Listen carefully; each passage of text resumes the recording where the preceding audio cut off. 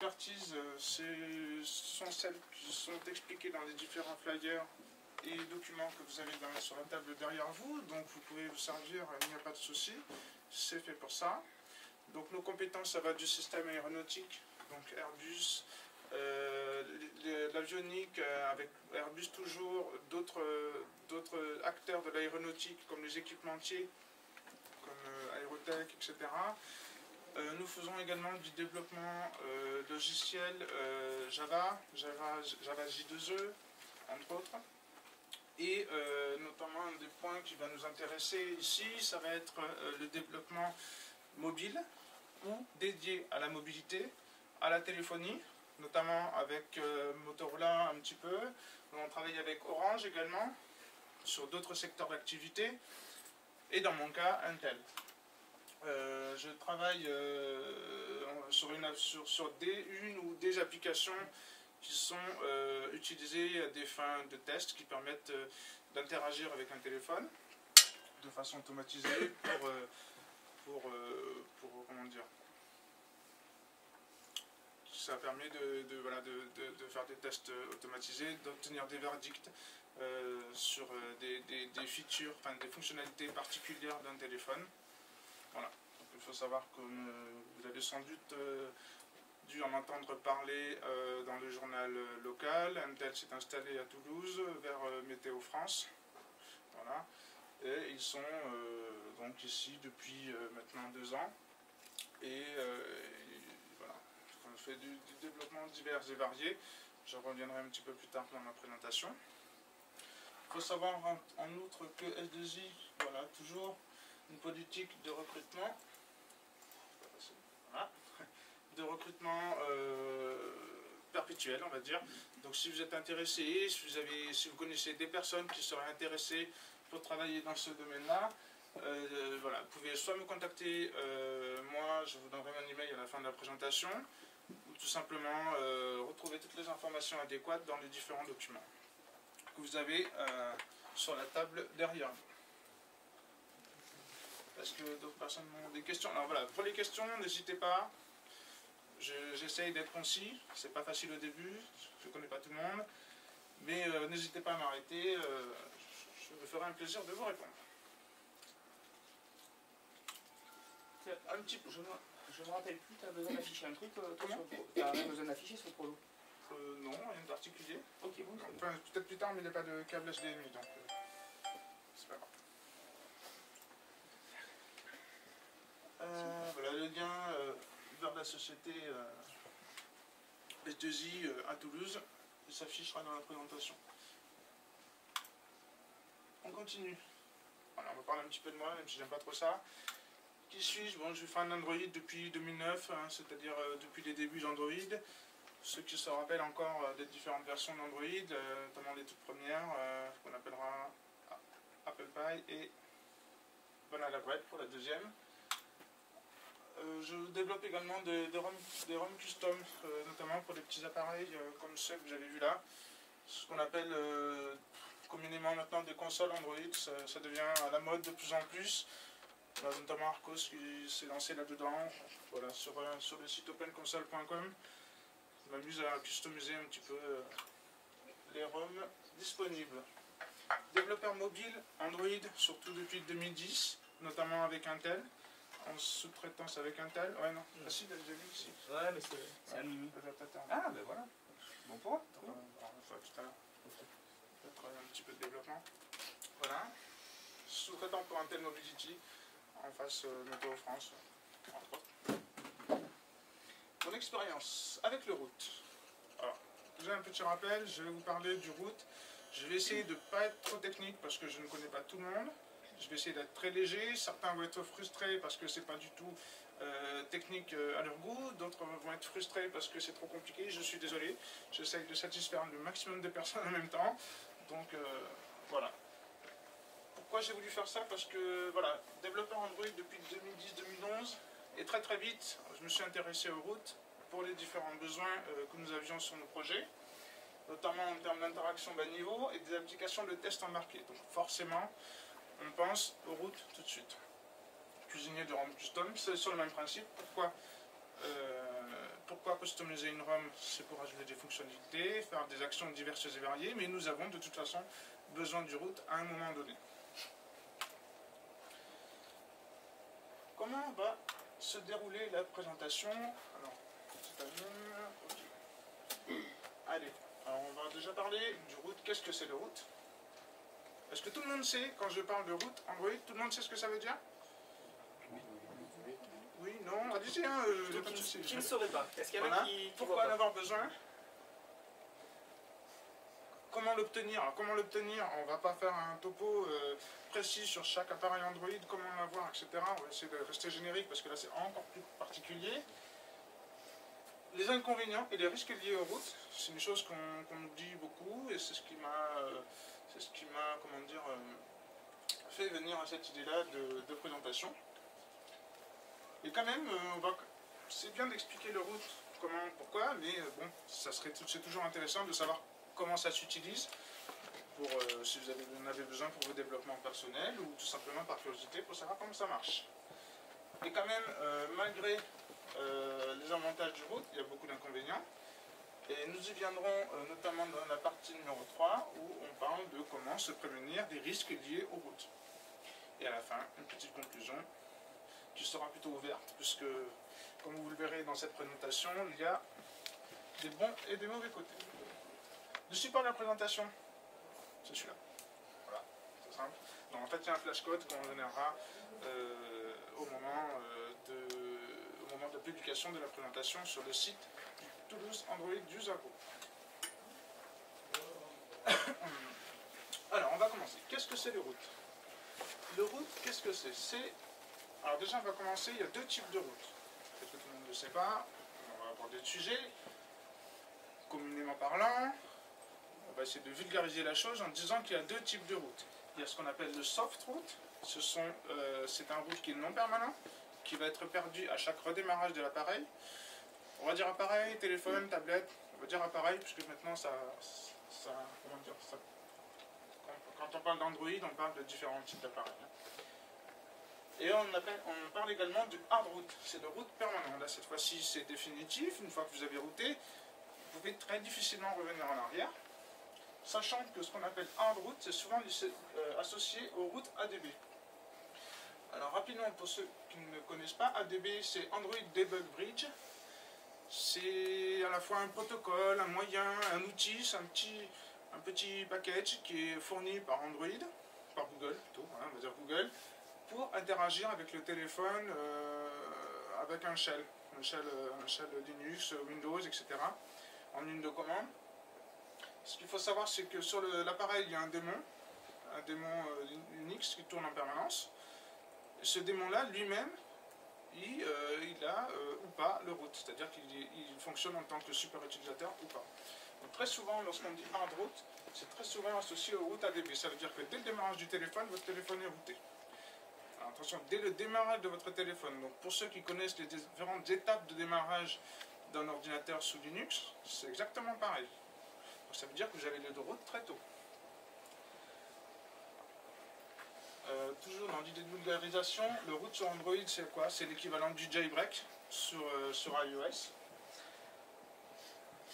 C'est également le super utilisateur SU, comme sur Linux, Unix, parce qu'on le rappelle. Android est basé sur un noyau Linux, dans sa philosophie qui ressemble euh, désolé si je vais en fâcher certains, qui ressemble un petit peu à Ubuntu, on a dit dans le noyau, dans son implémentation, etc. C'est ce, qui se dit, c'est ce qu'on peut remarquer. Juste pour rebondir rapidement, on en verra pourquoi après.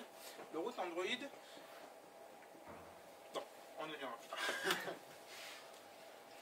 Le root, c'est quoi aussi? C'est aussi un utilisateur, tout simplement, comme sur Linux.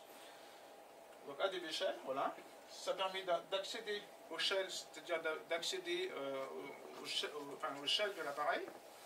Une fois que je suis dedans, je peux faire des commandes, des commandes standards, Linux comme EPS, et euh, ça me liste dans certains processus qui tournent.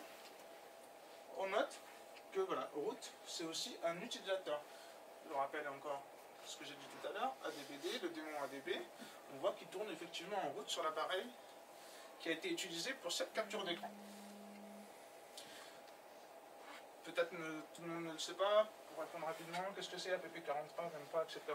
C'est chaque application. En fait, c'est chaque application que vous avez sur un appareil Android, automatiquement, il lui est dédié un utilisateur. C'est ce qui est utilisé entre autres par Android pour, euh, pour protéger l'application, pour cloisonner l'application. Voilà.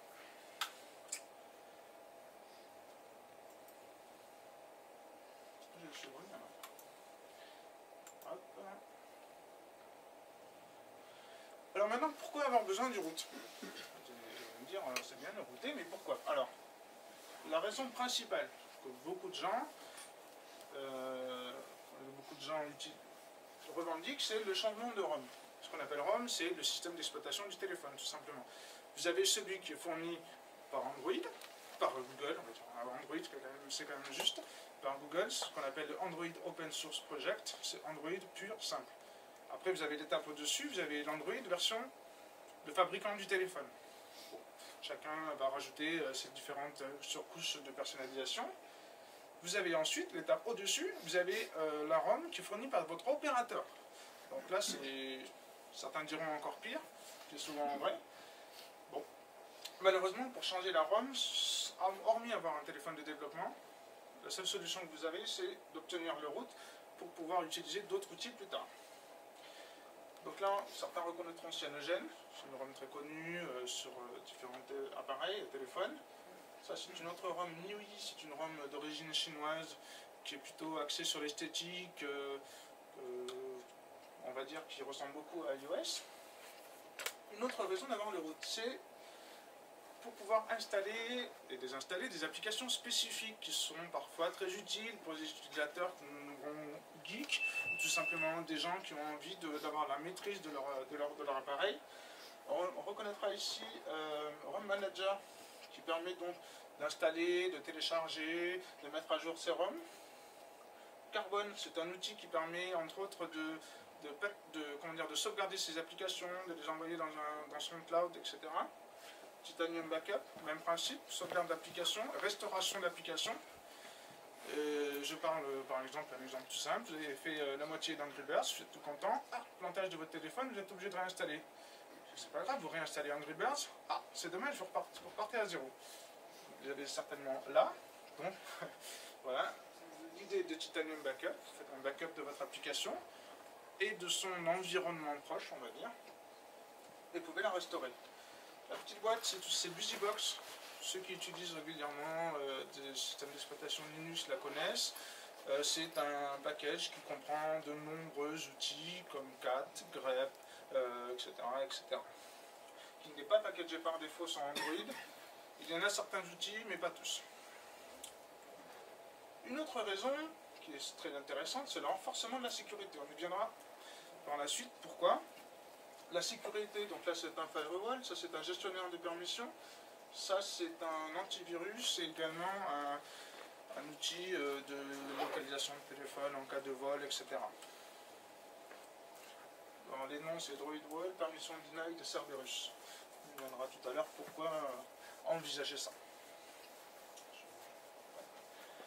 Comment l'obtenir? Alors là, ça va, être, euh, ça va dépendre beaucoup de votre appareil. Pour ça, je vous encourage à, regarder sur Google ou enfin, tout autre moteur de recherche euh, des sites dédiés. Vous trouverez la méthode qui correspond à votre appareil. Il n'y a pas de méthode générique. Mais globalement, d'une façon générale, c'est de l'exploitation de failles très très bas niveau. Ça va de, de, de, de, du dépassement de, mémoire à, la faille Exynos qui était tout simplement un fichier système qui était encore en droit de lecture-écriture. C'est dommage, c'est passé, passé dans les failles euh, de la qualité chez Samsung. Bon, ben, tant pis. Et du coup, grâce à ça, on pouvait euh, accéder euh, aux routes. Une autre solution qui, qui est possible, même si vous n'avez pas de route à la base, mais que vous avez un bootloader déverrouillé, bootloader équivalent du BIOS, on va dire, euh, très très vulgarisé, vous pouvez flasher directement une ROM spécifique sur votre appareil et cette ROM-là sera déjà routée. L'utilisation de ressources détournées, euh, ça c'est spécifique HTC qui ont, différents moyens de- d'empêcher euh, le route sur leur appareil. On utilise notamment ce qu'on appelle les gold cards. C'est qu'il y a d'autres personnes, d'autres équipes de développement qui ont trouvé. Voilà, la gold card, c'est euh, des fichiers que vous mettez sur votre carte SD. Lorsque vous mettez la carte SD, vous bootez dessus. Ça enclenche certains mécanismes internes dans votre appareil et ça vous permet de le déverrouiller. Il y a encore d'autres méthodes qui consistent à brancher un appareil spécifique sur le port euh, micro USB et ça déclenche des comportements euh, spécifiques sur l'appareil, ça vous permet de le router. Et ensuite, vous avez le route sur d'autres types d'appareils comme, comme celle-ci, qui est de, de fabrication euh, asiatique, où euh, là-dessus ne se prennent pas, euh, on va dire, ne prennent pas euh, le temps, ne se prennent pas la tête à mettre le route, parce que de toute façon, on sait pertinemment que des utilisateurs plus ou moins avancés vont tenter de l'obtenir. Donc là, il est déjà routé. À nous, on se prévient derrière de, de faire le tri parmi tout ça. Alors, le route, c'est bien. Au début, on peut faire beaucoup de choses. On verra un peu plus par la suite. On peut personnaliser son téléphone, on peut installer des applications, on peut désinstaller des applications qui ne nous conviennent pas. Mais par contre, il faut savoir que le route, c'est de super utilisateurs. Il peut tout faire. Si vous, vous pouvez tout faire, ça veut dire qu'une application malveillante, elle peut tout faire aussi.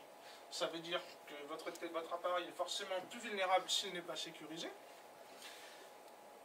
Alors comment vulnérable? Qu'est-ce qu'on peut faire? On peut installer des applications euh, sans que vous ne le voyez. Parce qu'une application, normalement, on utilise le Google Play, et euh, anciennement Android Market.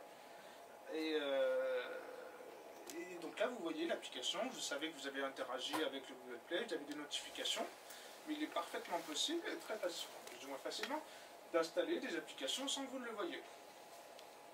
On peut également modifier des applications existantes à la volée sur une ROM déodexée. Rapidement, ça c'est une terminologie spécifique dans de la customisation de ROM. Rapidement, une ROM odexée, c'est-à-dire que le cache de l'application est, dans le système et dans le cache d'Alvic. Machine d'Alvic, ça parle à tout le monde sur Android.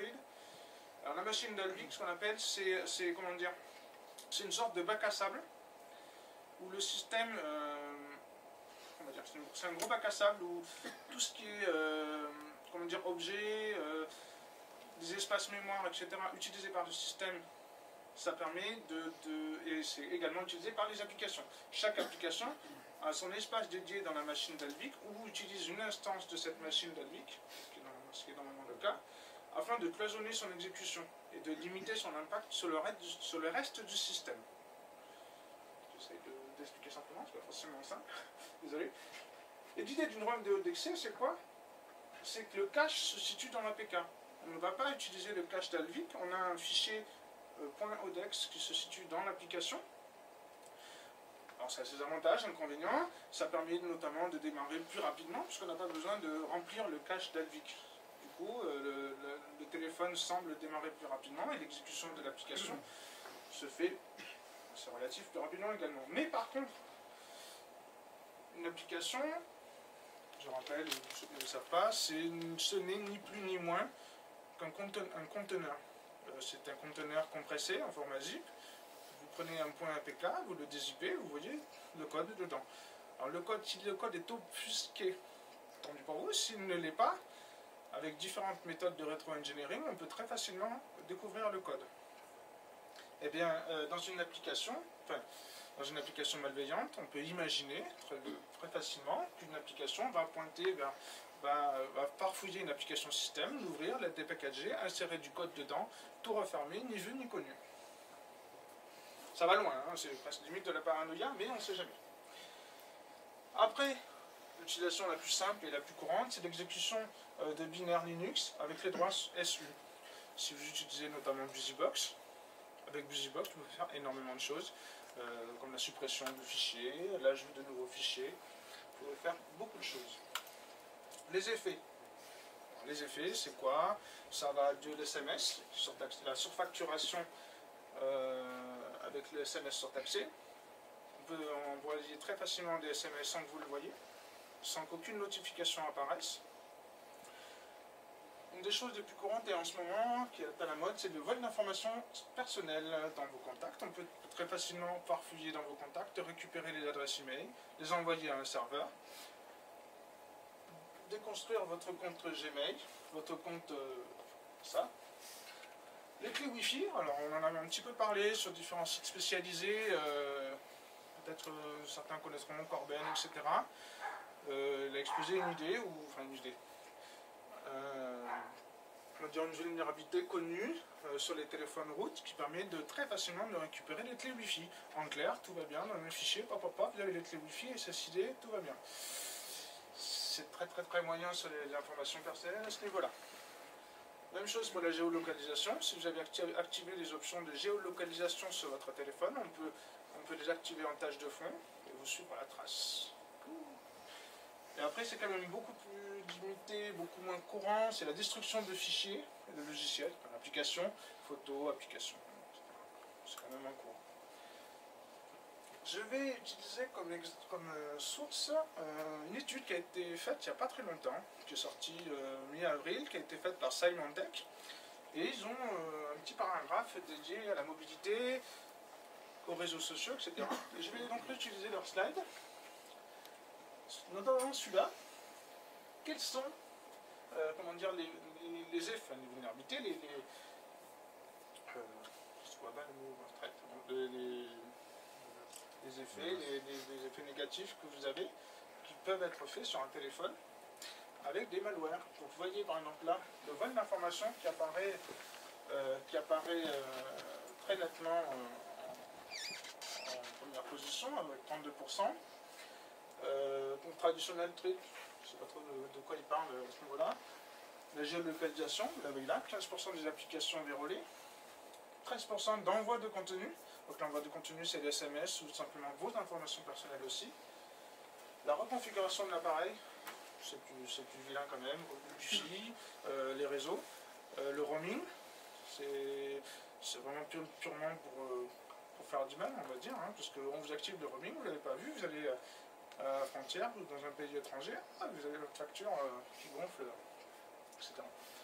Adware, annoyance, alors ça c'est les pop-up. euh, il y a des équivalents sur Android au pop-up que vous avez sur Internet. Euh, voilà.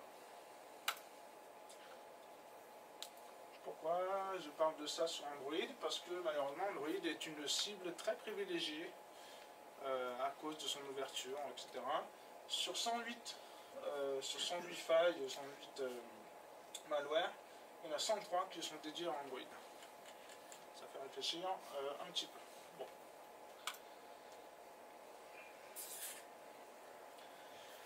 Bon. On va développer un petit peu. On va développer. Des tout petits morceaux. Des tout petits morceaux. Comment utiliser le root Euh, Tout le monde connaît Java, développé avec le Java, j'imagine. Oui, non,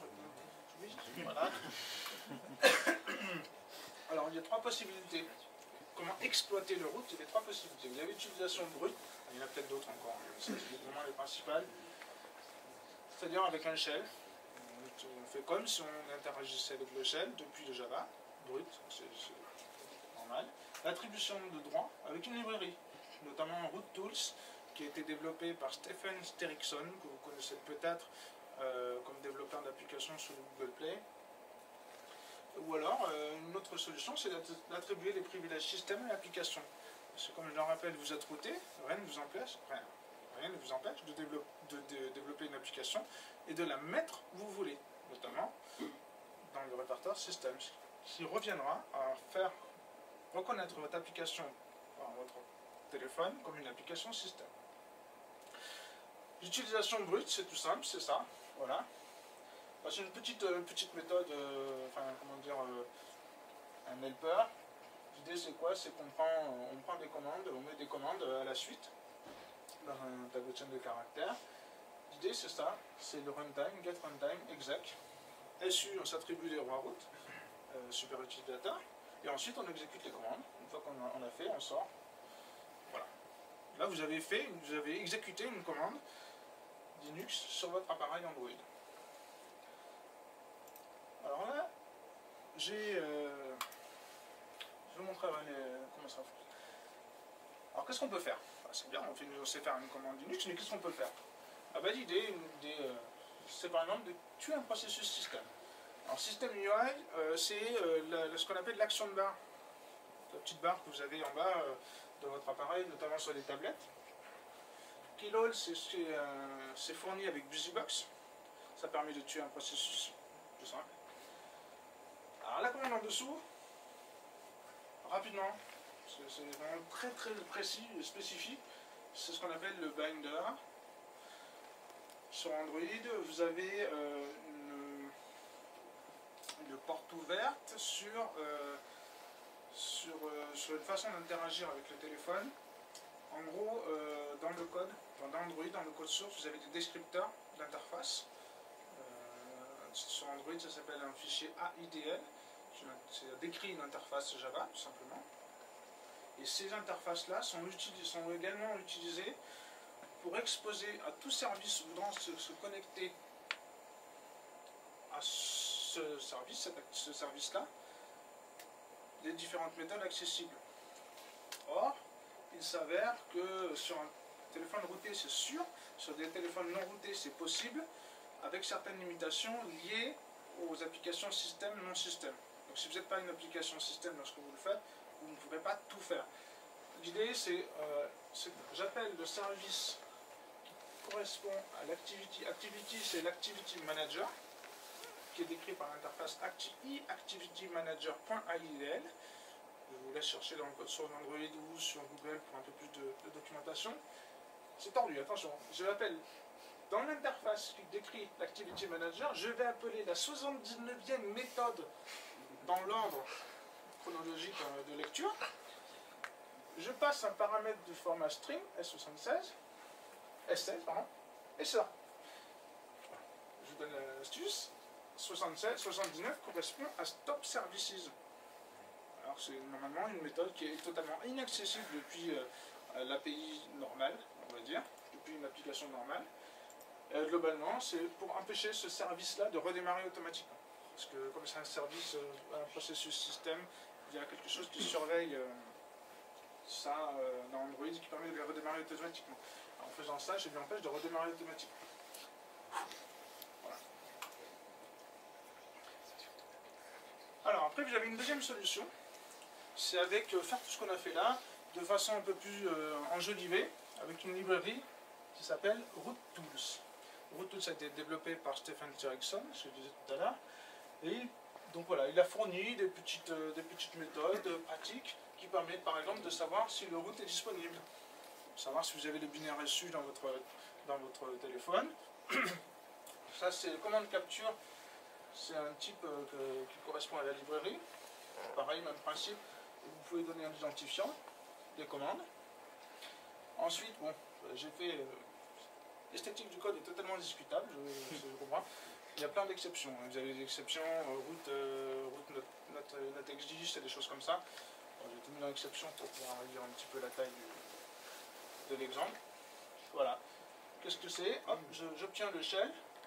Avec le route, j'ajoute les commandes et j'attends que c'est fini. Et voilà, ça a fait les commandes. Pourquoi utiliser ça? Alors un petit exemple, c'est... euh, je ne sais pas si on peut... euh, on va essayer de le montrer. Hop.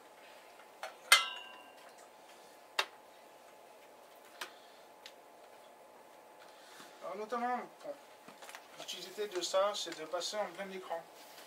C'est euh, une petite astuce qui est utilisée sur euh, notamment les consoles, les tablettes. Pour ceux qui utilisent des jeux, euh, vous avez toujours la- l'action en bas, qui est en bas. Ça peut être énervant, surtout si vous appuyez. Vous avez les notifications qui s'ouvrent. C'est un peu euh, s'afficher là ou pas fatigant. Euh, moi, alors attends, hop.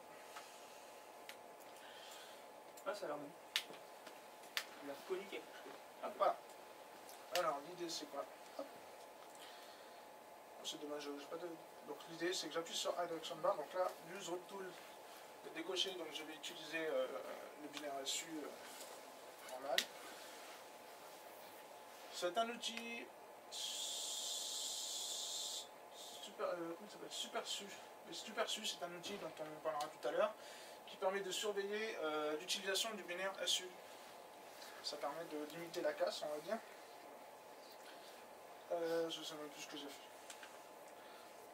Alors, add action bar, hop. J'autorise. Il a tué le processus, il empêche de redémarrer, et voilà. Donc là, dans mon code, il faut savoir que j'ai perdu, je perds mon fond d'écran. Il y a des mécaniques pour le récupérer. Et voilà, je me retrouve totalement en plein écran. Si je lance une application, euh, je resterai toujours en plein écran. Il y a d'autres méthodes qui nécessitent euh, le root également pour restaurer l'application. Il me le demande. Hop, je restaure. Et la barre va automatiquement revenir. Voilà. C'est tout simple. Euh, ceux qui veulent voir le fonctionnement de l'application du code, euh, ça sera disponible sur le site du Toulouse Android User Group pour voir un petit peu comment ça fonctionne. Euh, pareil, Root Tools. Donc là, il va me demander. Donc j'ai le truc. Hop, autoriser. Voilà. Ok, pas de magie, c'est vraiment ce que je vous ai expliqué euh, de façon un peu plus correcte, peut-être que ce que je vous ai montré là. Et voilà. Alors, qu'est-ce qu'on a d'autre? Donc là, on a vu tout simplement utiliser un binaire. C'est pas mal, on peut faire déjà beaucoup de choses, ce qui est sympa. Dans les applications système, ah, ça fait mal. Alors, comment ça fonctionne? Là, c'est une, c'est une application qui est développée, euh, on va dire, normalement. Comme toute autre application, vous utilisez l'Android SDK, vous avez des méthodes, des classes, tout va bien, vous utilisez. Par contre, il s'avère que certaines euh, fonctionnalités sont bloquées notamment avec le système de permission. Alors là, il y a une permission qui s'appelle setTime. On vous permet de l'utiliser. Par contre, on vous dit, ah non, désolé, ça c'est une permission de deuxième niveau. C'est une, permission qui est utilisée uniquement pour le système. Comment je peux le faire? Pourtant, euh, le code est très simple. Derrière, c'est pour pouvoir configurer le temps. Alors là, on utilise du, Java, hein, du, voilà, euh, avoir une instance du calendar. On utilise l'alarme manager dans Android, service et on fait set time. Ça me met le temps. Et si vous faites ça dans une application standard, et que vous l'installez de façon toujours standard, et bien vous allez avoir une belle erreur, comme ça. Bon, c'est mis, mis dans une euh, petite fenêtre. DDR user, blablabla, or current process as Android permission set time. Ah, forcément, vous n'avez pas une application système. Et l'idée, c'est quoi? C'est vous faire passer pour une application système. Vous avez le root, vous avez votre fichier APK qui a été généré, vous le prenez, vous le mettez, vous le posez comme n'importe quel fichier, faites ADB push dans système slash app. Et là, magie, magie. Alors, voilà.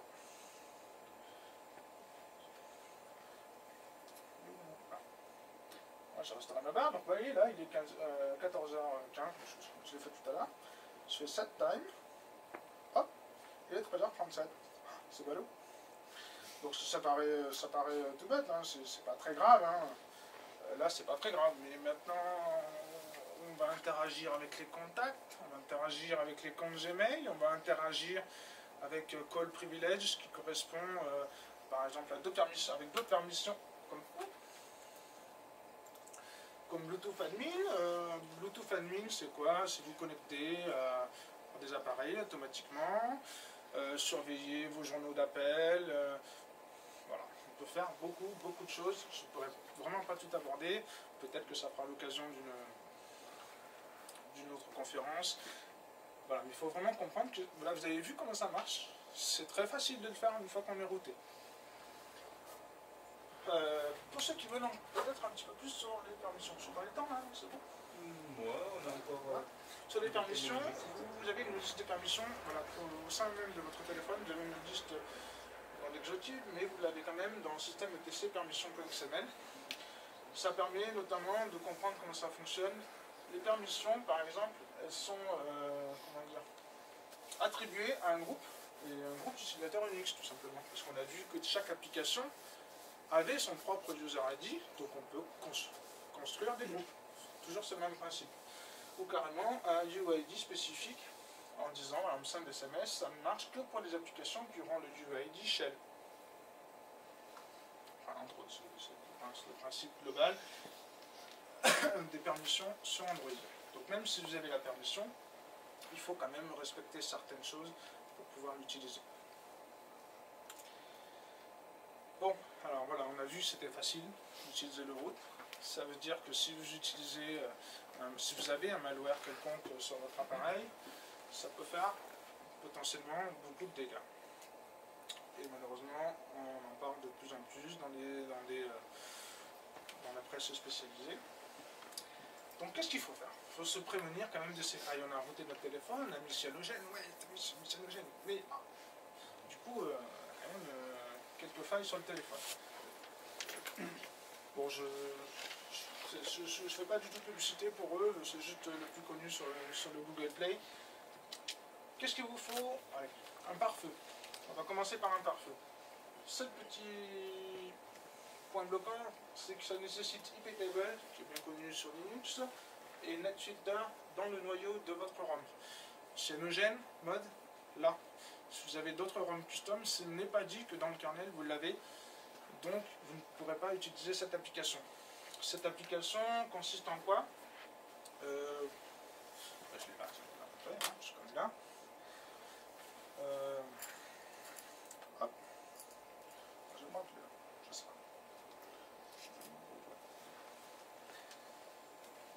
Voilà, ça, fait une, ça me fait une liste des applications installées et euh, je peux bloquer son accès à Internet.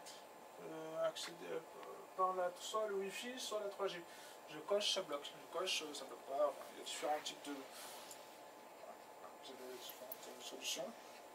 Donc là, si vous avez, si vous soupçonnez une application d'être malveillante, vous pouvez dire, ok, j'ai une application malveillante, mais je vais quand même l'empêcher d'envoyer des informations sensibles, je vais lui bloquer son accès à Internet.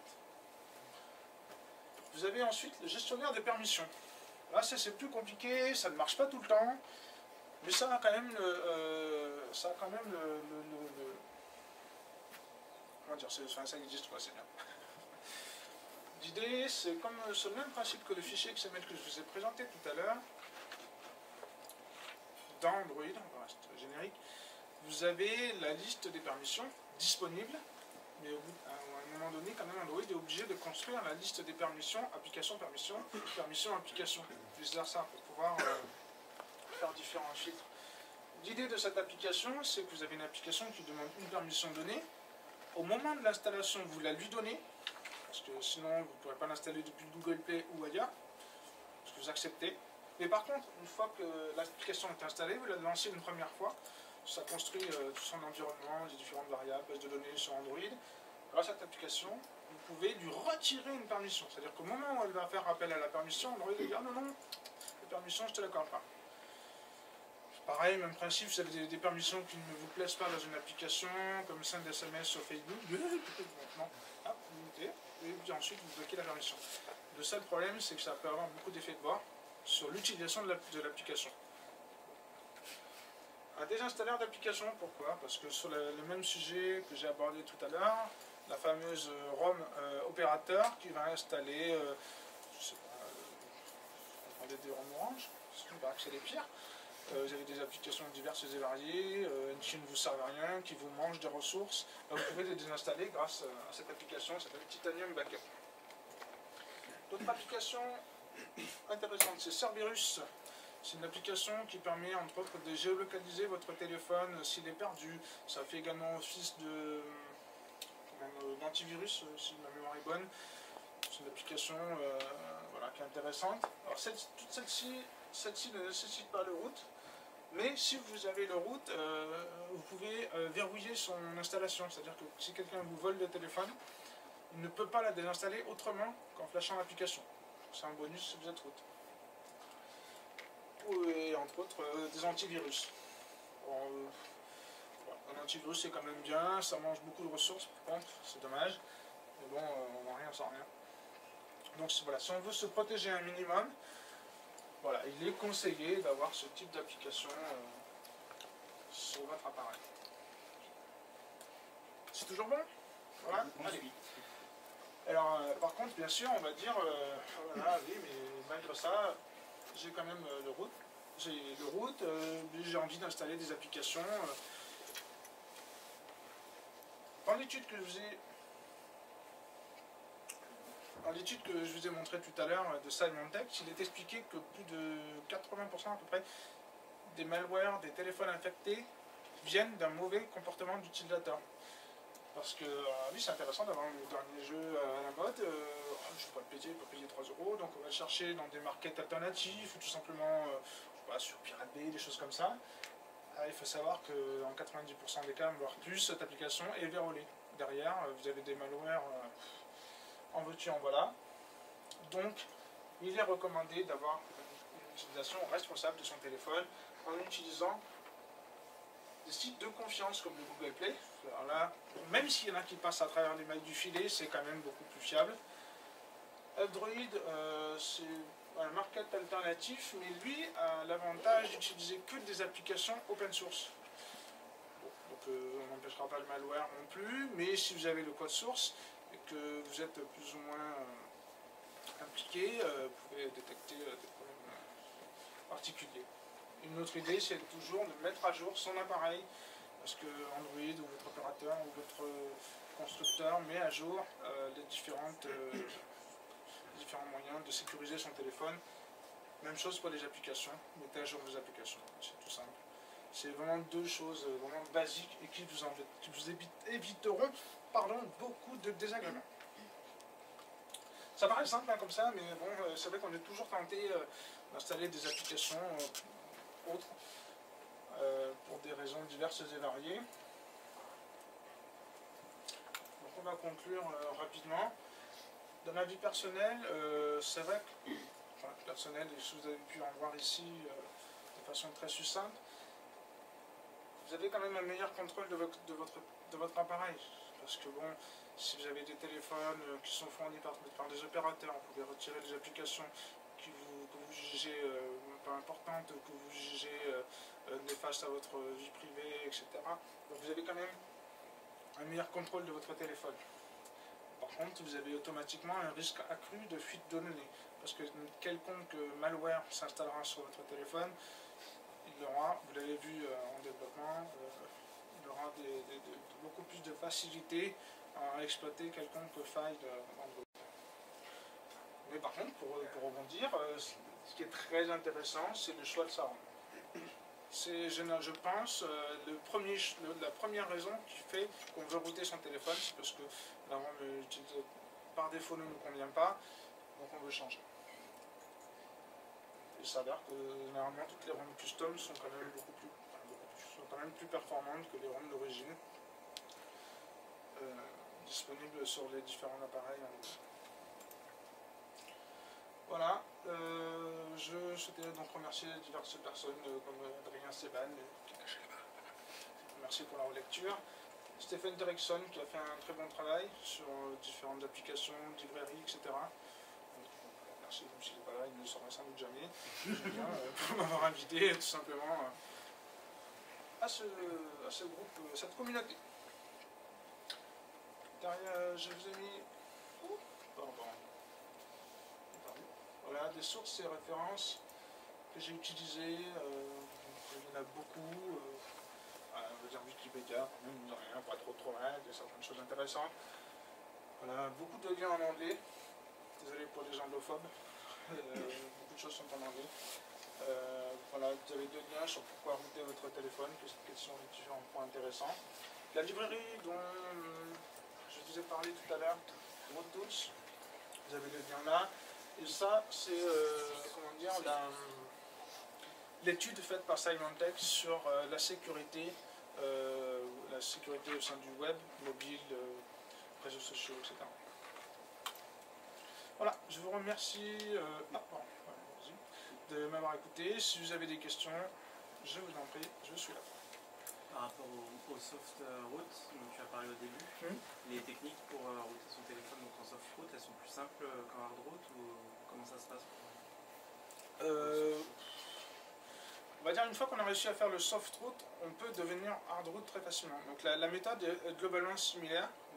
Euh, et ça dépend, la facilité dépend beaucoup de votre appareil. Euh, là, je ne saurais pas vous aider plus que ça. Euh, on, peut en discuter tout à l'heure, si vous montrer votre appareil, vous aiguiller un petit peu sur différentes ressources. C'est jamais facile de router. Ce qu'il faut se dire, c'est que c'est jamais facile de router. Et quand vous le faites, croiser les doigts, faites des sauvegardes de tout ce que vous avez parce que ça devient très facile aussi de briquer son appareil. Euh, voilà, moi sur un téléphone, euh, c'est un HTC, HTC Légende, je crois que c'est le pire que j'ai dû faire parce qu'il y a une gold card génération de, de la Gold Card, ça c'est pour router. Et après, je me suis aperçu que le bootloader était verrouillé, donc c'était impossible d'installer un recovery, celui qui nous permet d'installer des ROM. J'ai dû batailler euh, un peu longuement pour pouvoir euh, le router complètement. Euh, ma tablette aussi, ça a été assez compliqué également. Bien que la communauté euh, de développeurs soit très active à ce niveau-là, parce que quand même, ça a quand même beaucoup d'avantages. Euh, oui, premier, Ouais, n'importe. Est-ce qu'il y a une différence au niveau de tout ce qui est euh, ADB par exemple, au niveau des accès système entre les différentes versions Android? Depuis 2, 3 ah bah, c'est juste que ADB en fait, euh, ou Shell, enfin tout ce qui est dans le Shell, est-ce qu'on a des différences de, au niveau des la permissions, différence, des accès euh, non, la, la différence, euh, il n'y en a pas, c'est juste la façon d'y accéder. Euh, tu as ADB dessus, ça, j'imagine Euh, ouais. Ouais, ouais. Euh, c'est- Euh, ADB, pour ceux qui ne connaissent pas, Est-ce qu'il est accessible Est-ce qu'il est accessible c'est c'est un outil, c'est vraiment un outil. Voilà, ADB, voilà. Ouais, mais euh, voilà, c'est un outil qui permet de faire beaucoup de choses, comme euh, mettre des applications, interagir avec le téléphone.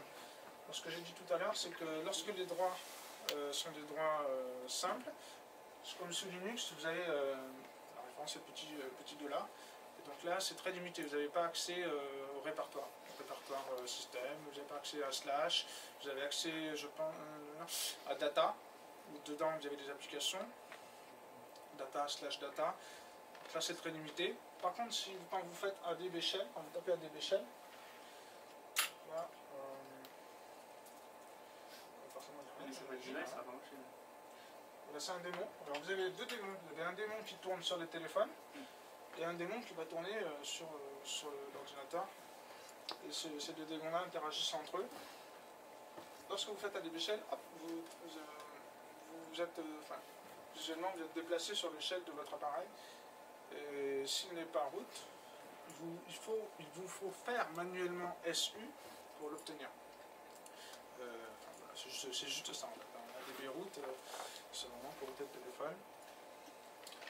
Euh, pour router euh, des monstres, vous pouvez faire la commande ADB root. C'est ce qu'on a vu là. Vous l'avez là. ADB root, restart de ADB démon, use root permission.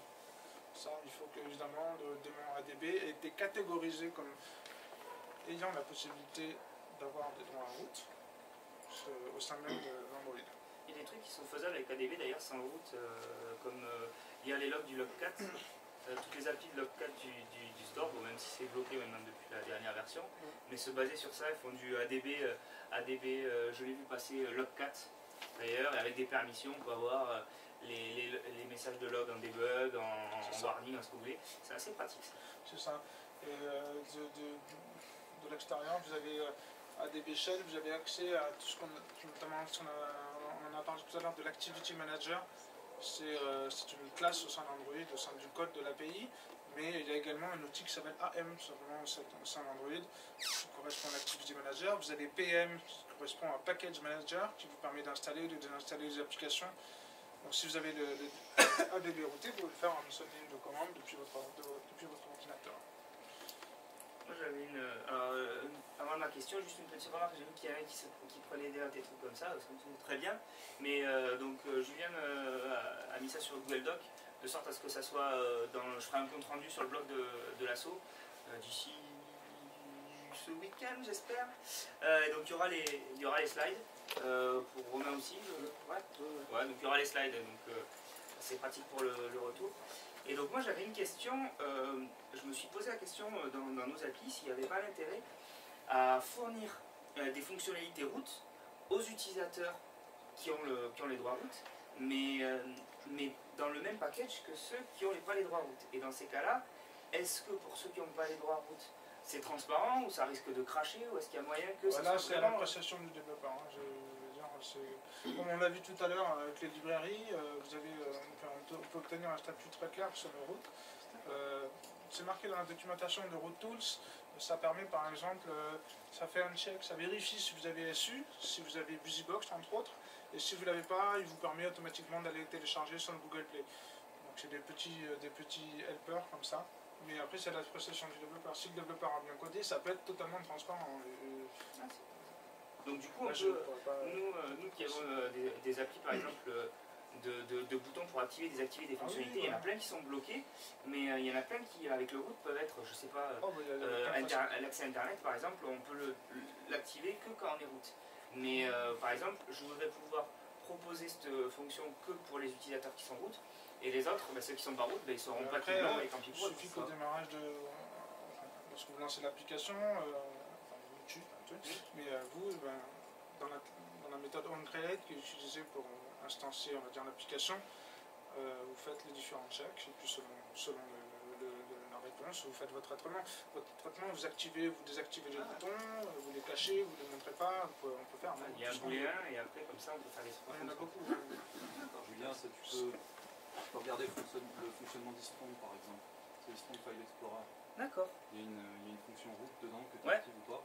Tout ce qu'il fait, c'est qu'au moment, où tu- au moment où tu cliques sur le menu route, il vérifie euh, via la librairie, la route tool, si tu as les permissions ou pas. Si tu les as pas, il dit vous n'êtes pas route. D'accord. Et si tu les as, par contre, là tu passes en mode, tu peux explorer toute la carte, euh, enfin tout le, tout le téléphone, changer des fichiers système, etc.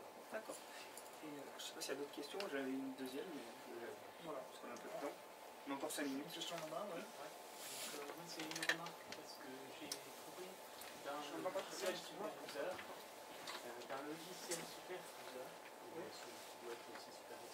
on a la possibilité de dérouter au Windows. Ça C'est ça. simple route dérouter temporairement le téléphone. Moi, je le mets systématiquement, comme ça je n'active le route que quand on en a besoin. C'est une bonne- très technique. Une sécurité Ça permet aussi de pouvoir accéder à Google Wi-Fi, c'est ça. Je vais pas vous parler euh, superviseur. Ça permet d'accéder à quoi? Pourquoi? Google Play Film pour pouvoir louer un film. Parce que quand vous êtes route, vous ne pouvez plus louer de film. Ah, il y a quelques applis quand même ça, euh, de sécurité, euh, des jeux vidéo aussi, qui ne se lancent pas euh, dans le monde du jeu vidéo. On est très branché DRM, protection, anti-piratage, des choses comme ça. Et entre autres, souvent les, les applis routes permettent de passer beaucoup de sécurité. Et il y a quelques jeux qui ont pris des tollés parce que justement ils ne se lançaient pas si, euh, si on était en route. Voilà, donc par exemple, euh, pour rebondir sur ce que disait monsieur tout à l'heure, l'application SuperSu, bon là c'est du board de SuperSu qui est très connu sur XDA développeur. Euh, vous avez par exemple des paramètres, euh, vous avez la liste des applications qui utilisent le route, on reconnaît l'application que j'ai- tout à l'heure. Vous avez les journaux, les journaux d'appel à- au route, qui a utilisé le route, à quelle heure, quand. Et après vous avez des paramètres. Enfin, c'est vrai que je ne l'ai pas parlé, mais très souvent quand vous routez votre téléphone, c'est automatique. C'est automatique selon la personne qui a fait euh, l'exploit. Il vous installe une application comme ça. euh, SuperSu, SuperUser. euh, selon, il y en a deux, deux- grosses applications. Et grâce à ces, applica- ces applications-là, pardon, vous avez une, quand même une certaine maîtrise sur les autres applications qui demanderont le route. Il faut savoir que c'est quand, quand même possible de bypasser. On va pas trop s'attarder dessus, mais euh, c'est- pas magique non plus, mais c'est quand même pas. Là, si, quelqu'un arrive à, contourner ça, c'est bon, là, euh, enfin, il y a du niveau quand même. hein. Mais euh, c'est quand même possible. Journaux, vous avez des journaux, vous avez- la possibilité voilà, d'installer Super le système, comme ça, euh, ça, permet de, faire confiance à l'utilisateur système. Voilà, différentes options pas trop faire de publicité parce que je ne sais pas forcément non plus. voilà, voilà. D'autres questions Moi j'avais une D'autres questions, sinon on on peut faire- la pause. J'ai vu, euh, j'ai pas eu le temps de voir ce que tu mettais comme, euh, comme doc. Euh, mais est-ce qu'il y a quelque part un, un site qui recense des, des applis qui auraient du route pour se donner un peu d'idée Parce que comme il n'y a pas de doc officiel, il faut un peu euh, travailler à l'imagination sur ce qu'on peut faire avec le route. Est-ce qu'il y a quelque chose qui rassemble des choses qui sont déjà faites Bon, je Un peu n'ai pas beaucoup cherché euh, pas- euh, de connaissances. Alors, de, enfin, perso, euh, c'est là qu'on connaît, ça intervenait parce que moi je ne pourrais pas répondre euh, ça. Euh, c'est Rootwiki, Rootwiki. Ah non, toi tu veux les sources des applications. Enfin, ouais, les sources, au moins les, les usages. Pas, euh, c'est pas J'ai envie de répondre comment je XDA route. Developers. C'est euh, un forum qui connu euh, dans, la sphère Android. Euh, beaucoup de gens partagent les sources. Vous avez beaucoup d'applications qui utilisent les routes. bah, notamment Supersu. Je crois que le code source est disponible. Donc si vous voulez regarder comment ça marche, enfin. Titanium Backup, il a été pendant un moment, je crois qu'il n'est plus. Après, il faut regarder Carbone. Carbone, l'application dont je parlais tout à l'heure, a un peu les mêmes effets que Titanium Backup, sauf qu'en plus, ça permet de- d'uploader des applications dans un cloud, Dropbox, n'importe quoi. Et euh, je crois qu'il y avait plein de sources. Je sais pas. Je ne vais pas trop m'avancer, mais. euh, Mais Par exemple, tout à l'heure, tu montrais les commandes, euh, la ligne 79, c'est-à-dire tout Ouais. ça. Est-ce qu'on a Oui. une liste de. Est-ce qu'il y a la 78, 117 Effectivement, ça, Alors, c'est pas du tout documenté. Ah, Mais on Comme fera sur euh, comment on fait Et après, pour les autres questions, on fera après pendant le cours. Je sais On pas fera la si deuxième on- conférence. Ah, j'avais pas le. On les de Ouais, c'est- Chance, euh, on va s'installer. Ça va vite.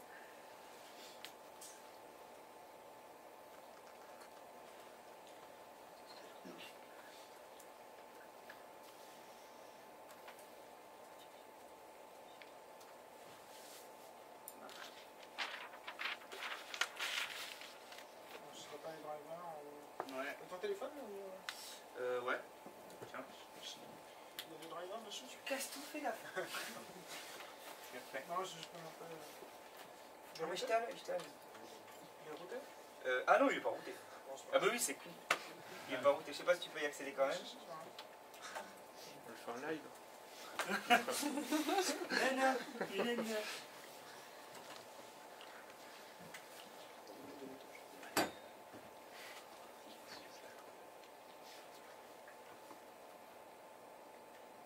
C'est où Parce que je peux se débrancher qui là Ça fait quelque chose ou pas Bon, c'est pas. Et au pire, on essaiera de le. Oui, Pour ceux que ça, ça amuse, on essaiera de faire la, de, de mettre en place la démo euh, pendant, le, pendant les pizzas. Ah, si tu veux, l'idée le s'il te plaît. Ah.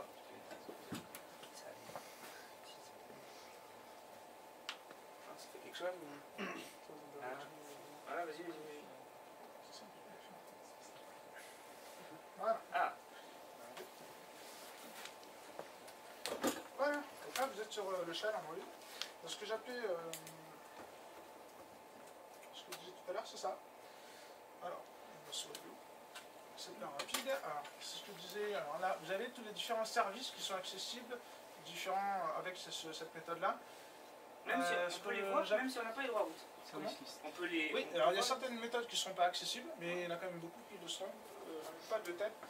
Alors c'est très, c'est très pointu, hein. il faut, faut, faut suivre. C'est. Pas pointu. Alors, ah, mais. Donc vous avez Activity, donc quelque part. Là-dedans, il faut chercher Activity, ce qui correspond à l'Activity Manager. Bon, allez, on va faire, on va faire un autre, un autre exemple. Donc là, vous avez Phone.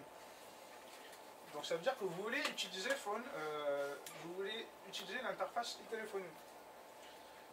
Donc vous faites service con, phone, c'est le numéro. Et après, vous avez le numéro de la méthode. Le numéro de la méthode, comment on fait? Il vous faut le code source de votre appareil. Donc si c'est un Android Open Source Project, ça ira. Si c'est pas un Android Open Source Project, ben, soit vous prenez quand même la version open source et vous tablez sur le fait que la méthode est au même endroit. Oui, c'est vraiment euh. Et l'idée c'est quoi?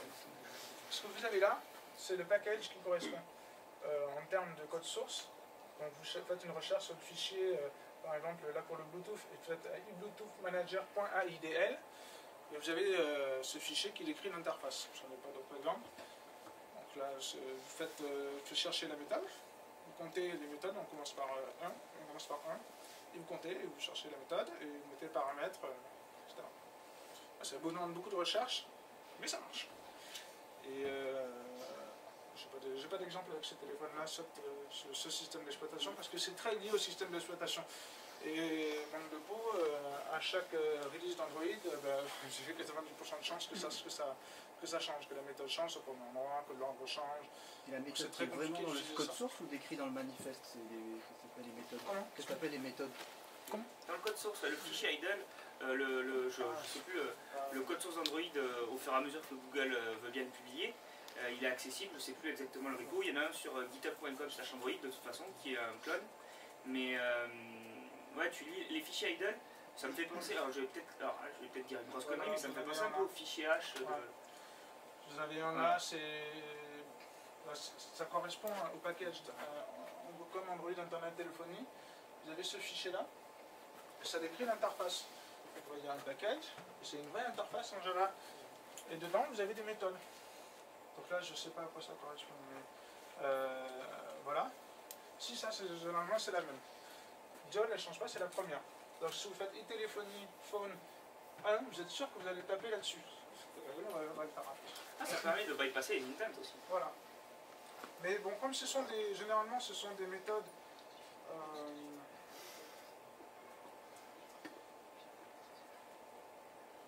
Appelle ma copine, comme ça elle sera sûre que je suis ici. voilà. Là, je l'ai fait Dial, c'est-à-dire qu'il a composé les numéros que j'ai donnés là. Je sais pas si vous voyez. C'est bon, hein C'est trop beau. Donc euh, voilà. Ah, mais ça, intent. Du coup, ça fait des ça trucs c'est sans sur rien, mais on peut imaginer beaucoup de choses. hein. Je vous laisse euh, on va demander dans les, euh, dans les fonctionnalités, euh, on peut obtenir comme ça. Comme comme c'est command shell, on peut les appliquer depuis le Java, on peut une application. euh, Ah ouais, ton, ton appli, ça. Ça, ça. Après, les, hein, les numéros, euh, par contre, le format derrière. euh, Bon, ouais. T'as pas mis euh, le type de paramètre Je te dis que tu puisses l'appeler depuis Java parce qu'il y a peut-être une vérification sur le user qui appelle euh, cette commande en l'occurrence. euh, si Ah. tu n'était pas shell par exemple, euh, peut-être qu'il ne te laissera pas euh, Bon. exécuter ça même, euh, même depuis Java. J'ai trouvé en Java méthode pour euh, exécuter Ouais, ça. C'est trop. Donc là, il n'a rien vu passer, c'est passé tout seul. Il y a quand même une interface, hein, donc c'est- c'est- Ah, et avec quelques manipulations, on peut la masquer. Avec une simple, simple commande shell, euh, il m'a voilà, je l'ai appelé. Donc, ce que je viens de faire là, on peut le T'as faire pas depuis demandé euh, si sur le- comment T'as pas posé la question, toutes les deux secondes tout en regardant. Je très C'est le principe que, voilà, comment exploiter euh, différentes.